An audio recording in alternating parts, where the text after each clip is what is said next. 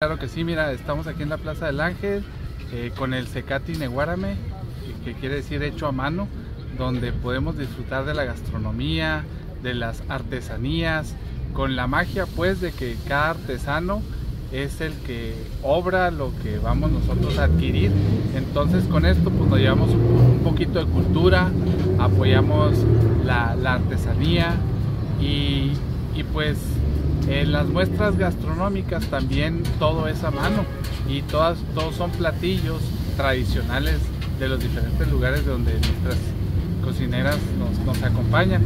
Vamos a estar de, del jueves, que fue ayer, a domingo, aquí para que pasen y que prueben el mejor sazón de Chihuahua.